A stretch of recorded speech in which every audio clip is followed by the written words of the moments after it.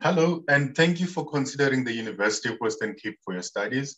My name is Sapho Gwadiso. I am an accounting lecturer and also the program coordinator for the Thuthuka Bursary Fund. I'm going to talk to you briefly about the fund and directions for applications. As the department, we are ready to receive you and have you and walk the journey to becoming a chartered accountant with you and support you along the way.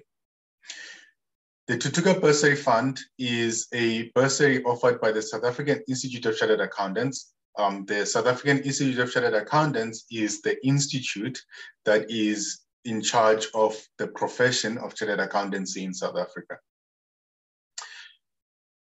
When you join the bursary fund, we will arrange for your laptop, textbooks, stationery, a place in residence, even if you are from the Western Cape, and food or an allowance.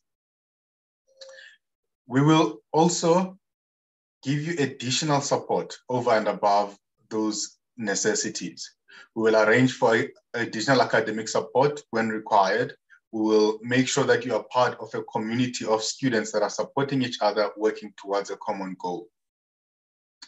We will also give you additional support as required based on your communications with your mentors, with me as the program manager, and other staff in the, um, in the program. We ask that you apply at www.thuthukabursaryfund.co.za once you apply there, we will not know that you've applied until much later in the year. So I ask you to please also send an email to thuthuka at uwc.ac.za. Also, in addition, please make sure you apply to both Thuthuka and to UWC. So your UWC application does not mean that you've applied to Thuthuka, and your Thuthuka application at SAICA does not mean you have applied to UWC its separate processes. Thank you again for considering UWC. We are ready to walk this tough and long journey with you, but it is a worthwhile journey.